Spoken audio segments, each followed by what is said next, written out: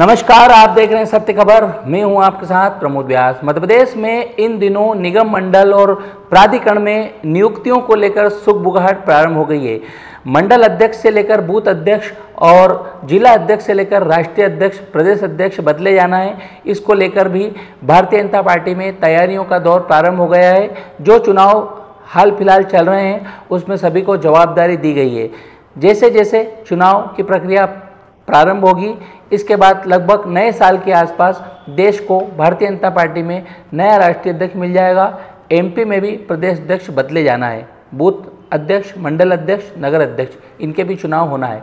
इन सब के बावजूद विजयपुर, बुधनी, दो ऐसी विधानसभा है मध्य प्रदेश में, जहाँ पर उपचुनाव चल रहे हैं। परिणाम क्या होगा, यह तो आने वाला वक्त बताएगा।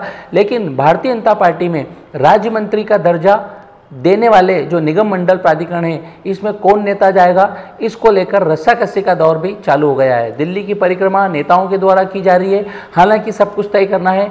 मध्यप्रदेश के मुख्यमंत्री डॉक्टर मोहन यादव को। आला कमान से हरी झंडी मिलने के बाद मध्यप्रदेश के मुख्यमंत्री डॉक्टर मोहन यादव निगम मंडल प्राधिकरण की घोषणा कर देंगे।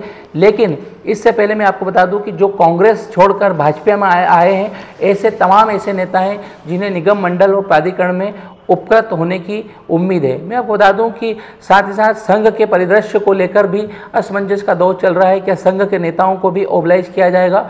और संघ में कुछ ऐसे नाम भी हैं जो भाजपा की मुख्य धारा में आएँगे। साथ ही साथ जो भाजपा के परंपरागत नेता हैं उन्हें भी निगम मंडल और प्राधिकरण में जाने की आस है। इधर मध्यप्रदेश के मुख्यमंत्री डॉक्टर मोहन यादव के गृह नगर में भी एक दर्जन ऐसे नेता हैं जो विकास प्राधिकरण से लेकर निगम मंडल अध्यक्ष की दौड़ में शामिल है। जो कुछ होगा, सत्य खबर आपको लगातार अपडेट करता रहेगा। प्रमोद व्यास, सत्य खबर उज्जैन। सत्य खबर। सत्य, सटीक, बेबाक।